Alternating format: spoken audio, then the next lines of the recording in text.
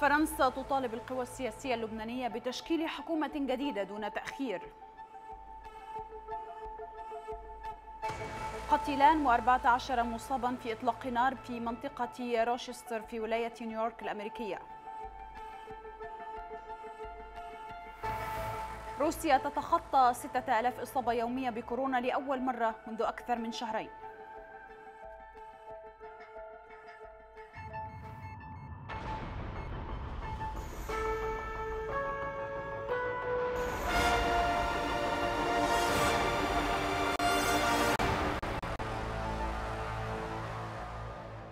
الحادية عشرة صباحا التاسعة بتوقيت جرينتش موجز إخباري جديد يأتيكم من القاهرة. أهلا بكم. في البداية نرجو من جميع المصريين أخذ الإجراءات الاحترازية ضد فيروس كورونا. احمي أهلك وأحمي بلدك.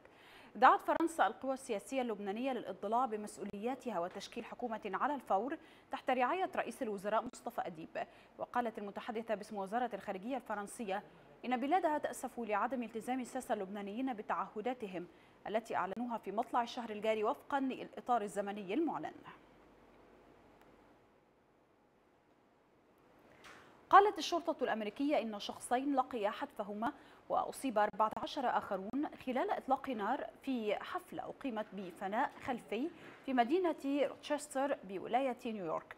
تم نقل المصابين الأربعة عشر إلى مستشفيين مختلفين وأشارت الشرطة إلى أنه لم يتم احتجاز أي مشتبه بهم في تنفيذ الهجوم. توعدت الصين باتخاذ إجراءات مضادة تجاه الولايات المتحدة ردا على قرارها بحجب تطبيقي تيك توك وويتشات. في البلاد بدعوى أنهما يشكلان خطرا على الأمن القومي الأمريكي. أعربت وزارة التجارة الصينية عن معارضتها الشديدة لخطوة واشنطن ضد تيك توك ودعتها للكف عن تصرفاتها واصفة إياها بالتنمر. أظهر آخر إحصاء لحصر كورونا حول العالم إلى ارتفاع عدد المصابين إلى أكثر من 30 مليون و700 ألف حالة. كما أشار الحصر إلى أن عدد الوفيات بلغ 956 ألفا و506 حالات موضحا أن الولايات المتحدة تصدرت الدول المتضررة من قبل من كورونا وتلتها الهند ثم البرازيل وروسيا. وتم تسجيل إصابات بالفيروس في أكثر من 210 دول ومناطق منذ اكتشاف أولى حالات الإصابة في الصين في ديسمبر من عام 2019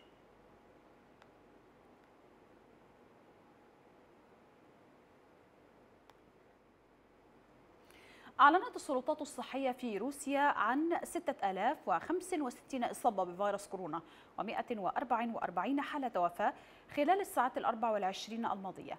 ولأول مرة منذ شهرين تتجاوز الحصيلة اليومية للإصابات بفيروس كورونا في روسيا 6000 نتيجة لزيادة السلطات الصحية عدد الفحوصات والاختبارات للكشف عن المصابين.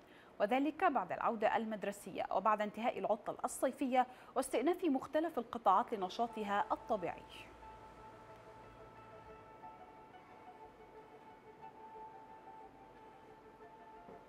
نهاية الموجز في الختام محيط علم السادة المشاهدين أن التردد الجديد لأكسترا نيوز هو 11 7 85 رأسي. شكرا جزيلا وإلى اللقاء.